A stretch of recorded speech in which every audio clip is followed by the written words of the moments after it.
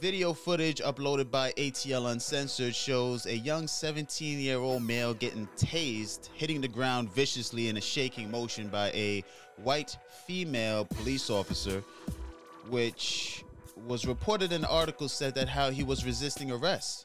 The police statement says that how the, this guy was on the, the premises doing illegal activities, which led the police officer to tase the kid it says that how the police officer was trying to give him a citations when he started to resist arrest. But if you look at the video footage, you would show that the kid didn't resist anything at all. Even eyewitness testimony of people on the location said that the kid didn't really do anything wrong at all. He was just vaping.